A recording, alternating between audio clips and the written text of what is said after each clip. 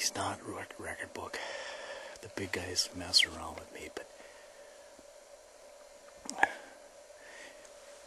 I had the big eight over here on my shoulder an hour ago. It scared me. He came in so quiet. They heard my boot squeak. He went north. I couldn't get him back with grunting or anything. I was sitting here and I heard something coming up from the south and I could see a deer moving. And uh, pretty exciting because he, he hung out there. I don't know. He hung out and was very cautious coming through there.